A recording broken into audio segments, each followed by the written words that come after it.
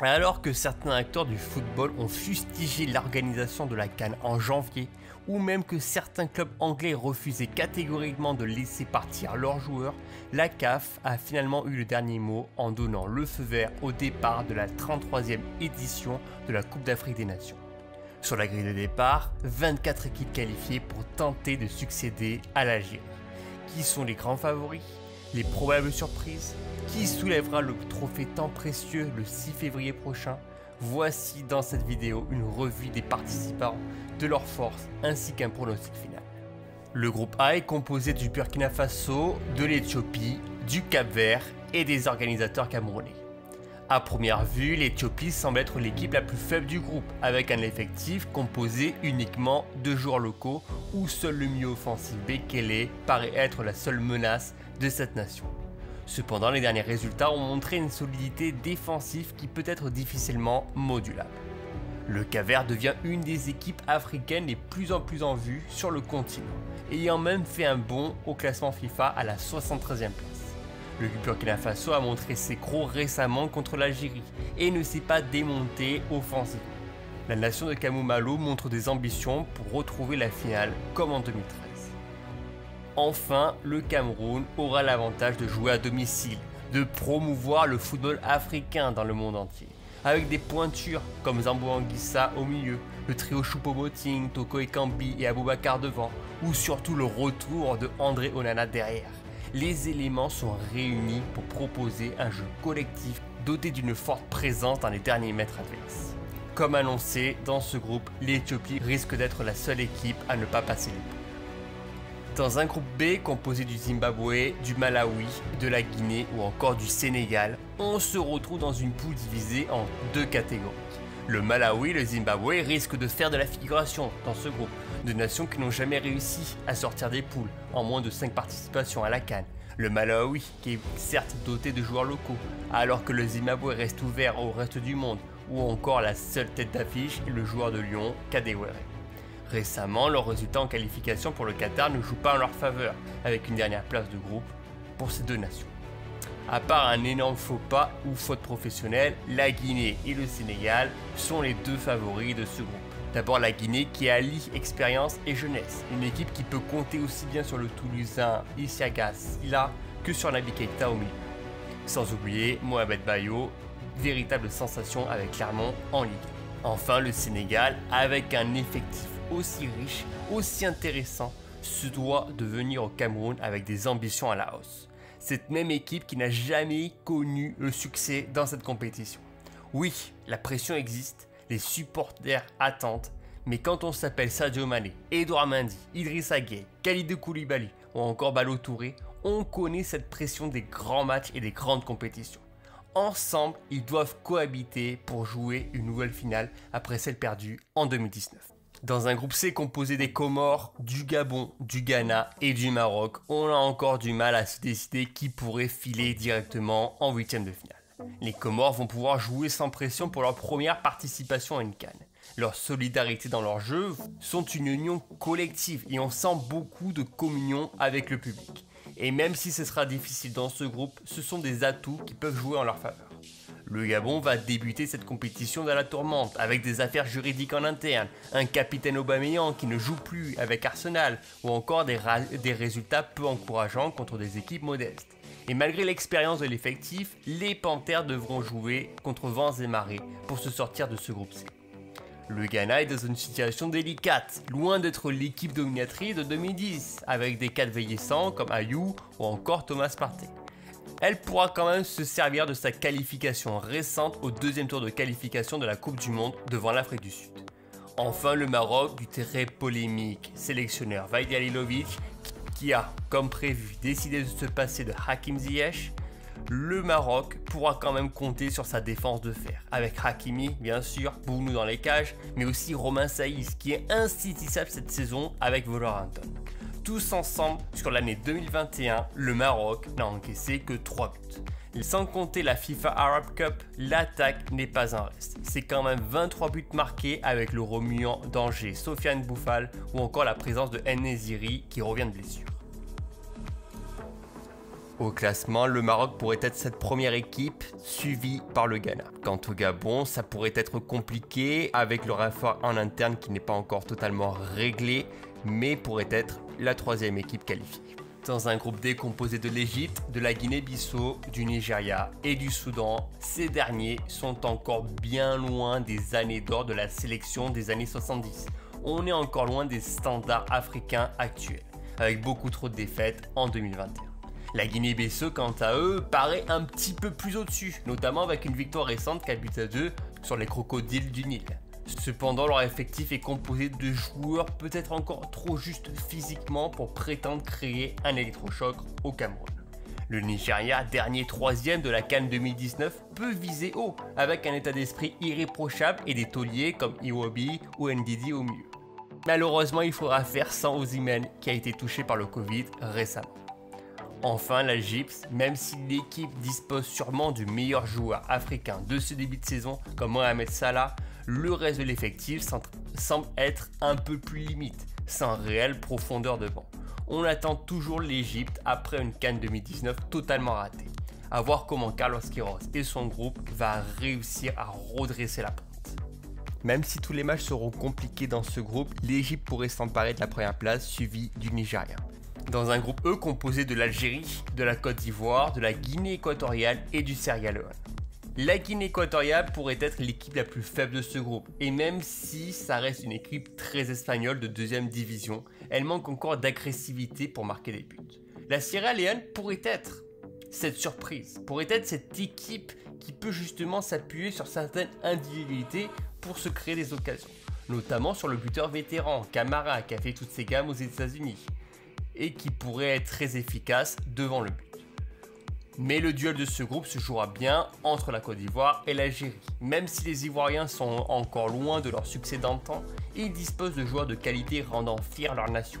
On parle de Caissier, de Serge Aurier, de Maxel Cornet ou encore du buteur Sébastien Haller, qui veut tout faire pour sa première grande compétition internationale. En face, l'Algérie, grande favorite à sa propre succession, avec plus de 30 matchs sans défaite depuis et avec un groupe uni et soudé. Les hommes de Belmadi seront particulièrement attendus et la tâche risque d'être plus compliquée qu'en 2019. Avec un Ryan Marais à droite, un Belaïli à gauche, l'expérience de Fegouli au milieu de terrain ou encore la qualité de buteur de Slimani, les arrêts de Mboli, sans oublier l'insouciance d'un Zerouki ou Benasser. L'Algérie est prête pour dominer l'Afrique une nouvelle fois. Elle a déjà démontré récemment en écrasant la concurrence lors de la FIFA Arab Cup au début du mois de décembre. Au classement, l'Algérie devrait confirmer son statut de favori suivi de la Côte d'Ivoire. Dans un groupe F composé de la Gambie, de la Mauritanie, du Mali et de la Tunisie, la Gambie va découvrir la Cannes pour la première fois. Une équipe assez hétérogène avec des joueurs venant de différents pays européens mais leur manque d'expérience risque d'être un défaut pour les coéquipiers de Omar Colley. Il en sera de même pour la Mauritanie, bien loin des standards africains pour inquiéter les deux ogres de ce groupe F. Le Mali est sûrement l'équipe surprise de la compétition, fort d'un milieu à 3 voire 4 joueurs de haut calibre comme Amadou Aïdara de Leipzig, Bissouma de Brington ou encore le jeune Camara de Salzbourg. Les aigles peuvent tirer leur épingle du jeu et se projeter dans le dernier carré. De l'autre côté, la Tunisie aussi a fait valoir de belles choses lors de la Coupe d'Arabe au Qatar. Elle a surtout montré de belles choses défensivement. Avec un effectif hétérogène dans tous les compartiments du jeu, les Aigles restent des outsiders imprévisibles capables de bousculer la hiérarchie africaine. La Tunisie devrait s'emparer de la première place au coude à coude avec le Mali. Quant à la Gambie et à la Mauritanie, il semblerait qu'elle pourrait être éliminée à ce stade de la compétition. On change carrément d'ambiance dans cette vidéo et on va essayer de se mouiller un peu en proposant un pronostic final pour savoir qui ira jusqu'au bout de cette Coupe d'Afrique des Nations qui commence dès demain. Comme vous voyez, j'ai fait la simulation par rapport au classement des groupes et on se retrouve donc avec 8 matchs très intéressants. Ces matchs-là, on voit quand même certains déséquilibres entre par exemple une équipe qui va découvrir ce stade de la compétition pour la première fois contre des équipes qui ont déjà remporté plusieurs fois ce fameux trophée. Par exemple, entre l'Égypte et Sierra Leone, c'est un petit peu un match entre David et Goliath, et je pense que l'Égypte, par rapport à ses talents individuels, pourra se qualifier pour les quarts de finale. c'est un petit peu pareil entre le Maroc et le Cap Vert. Le Cap Vert, c'est quand même une équipe qui est encore un petit peu débutante à ce niveau-là. Et le Maroc a prouvé récemment qu'elle était aussi forte offensivement que défensivement. Ensuite, on a aussi l'autre match, le Sénégal contre la Guinée-Bissau, qui pour moi, je pense que les Lions de la Teranga sont un des grands favoris pour aller jusqu'au bout et donc devraient normalement se qualifier pour les quarts de finale. Et ensuite, on a donc le Cameroun contre le Gabon. Je trouvais que le Gabon, en ce moment, avec tout ce que je lis par rapport à leur préparation, c'est un petit peu délicat. Et étant donné que le Cameroun sont à domicile, ils devraient se qualifier pour les quarts de finale. On a donc des matchs un petit peu plus équilibrés. Peut-être le Burkina Faso contre le Ghana.